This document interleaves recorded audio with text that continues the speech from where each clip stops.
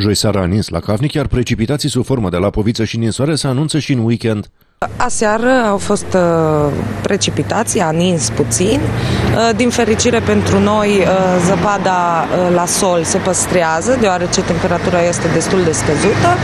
Sperăm să nu avem precipitații transformate în ploaie deocamdată. Mai merge lumea? Mai vine lumea în această perioadă la schi?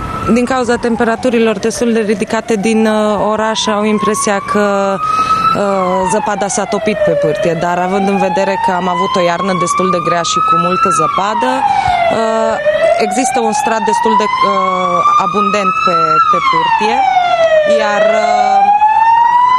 administrația pârtiei a făcut și, și ea zăpadă ca să poată să reziste cât de mult. Și la Borșa mai funcționează două pârtii din trei cea din pasul Prislop este încă funcțională, este zăpadă de aproximativ 70 cm pe ea. Pârtetele scaun nu mai este zăpadă, la pârtetele schi încă se mai poate. Că nu plouă, cel puțin 3 săptămâni va mai fi zăpadă în pasul Prislop. Sunt schiori? Mai merge lumea? În weekend, da, în weekend vin, în special din zona Moldova. Pentru sfârșitul săptămânii se anunță precipitații mixte în Maramureș, posibil ninsori la munte